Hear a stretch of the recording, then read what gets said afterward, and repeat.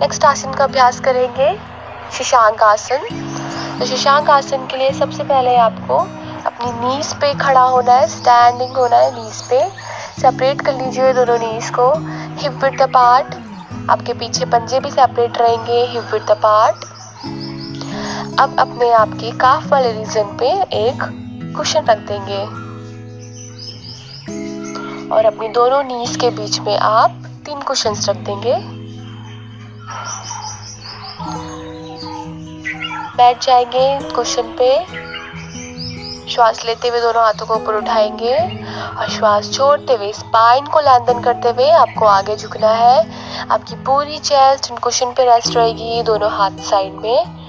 आँखें बंद। Whole body relax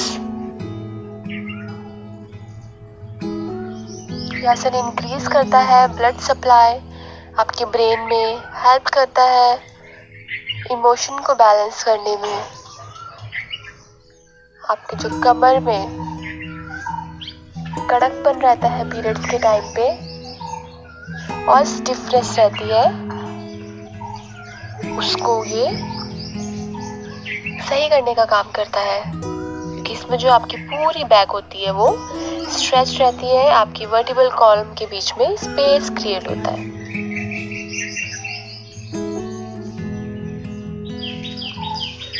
श्वास लेते हुए दोनों हाथों को ऊपर उठाएँगे